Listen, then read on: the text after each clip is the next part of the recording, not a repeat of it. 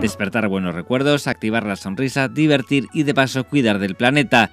Eso es lo que pretende Renault con la recuperación del Renault 5, un vehículo que llegará al mercado en formato eléctrico y que para su producción beberá del Renault 5 Prototype.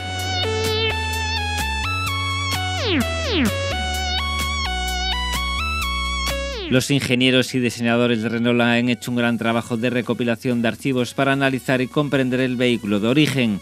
El R5 eléctrico seguirá conservando algunos de los elementos más característicos del modelo original, como por ejemplo su mirada traviesa, sus proporciones, contornos, la separación entre los faros, todo para plasmar la expresión del R5 de los años 70.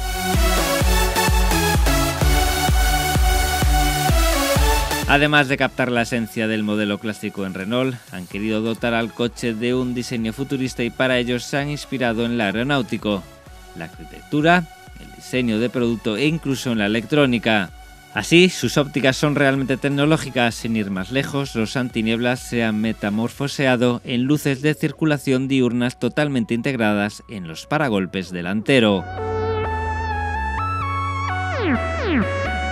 Otras características del diseño del futuro R5 eléctrico será la ausencia de parrilla convencional o una entrada simulada en el capó que ocultará la toma de corriente para la recarga.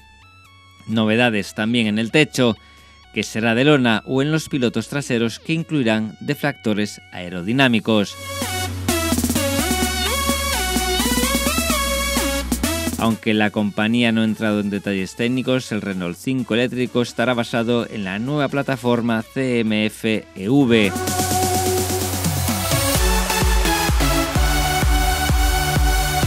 Respecto a su sistema de propulsión, por el momento no sabemos nada, solo que será uno de los siete eléctricos que la marca lanzará hasta 2025. Su modelo no arrancará hasta el año 2023 y el modelo de producción podría tener un precio que oscile entre los 20.000 euros de la versión más asequible y los 30.000 de la más costosa.